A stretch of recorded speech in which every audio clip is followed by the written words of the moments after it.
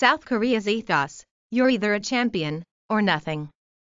South Korea has dominated women and hashtag 39 S golf since Se Ri Pak and hashtag 39 S breakthrough major victory at the 1998 LPGA Championship.